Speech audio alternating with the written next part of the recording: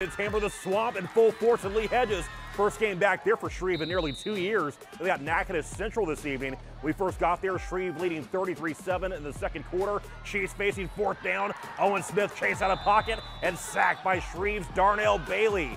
Chiefs, now check this out, pretty interesting play here. Chiefs facing fourth down on their very next drive. Smith punting, it's a fake.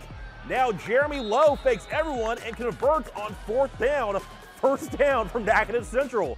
Nat Central still offense. Smith stepping back, goes deep to Dylan Braxton, who makes a catch out of bounds. Fourth down again for the visitors. Smith attempting to do his magic, attempting to hand it off. However, they are chomped by the Gators.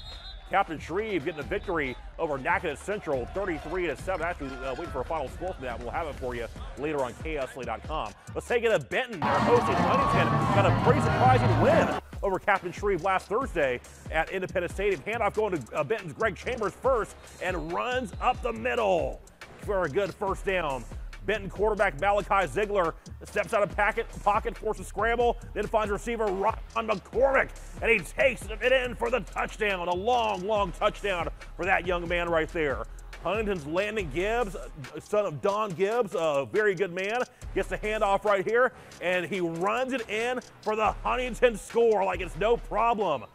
Hey, pretty impressive speed from that young man right there. Huntington's Jamarian Washington gets a strong run before he is pushed out of bounds. And uh, uh, again, a great contest between two 5A teams over in Bossier Parish. And it appears Huntington defeats Benton 27-21. Surprising scores for you on this week four of KSLA Overtime. Don't go anywhere. Much more straight ahead right here on KSLA News 12.